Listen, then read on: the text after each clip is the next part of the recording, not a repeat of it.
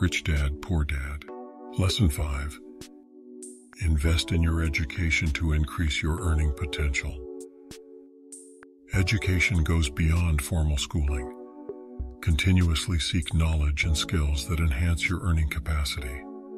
Whether it's learning about investing, entrepreneurship, or a specific industry, investing in your education can lead to better job prospects, higher income, and improved financial prospects.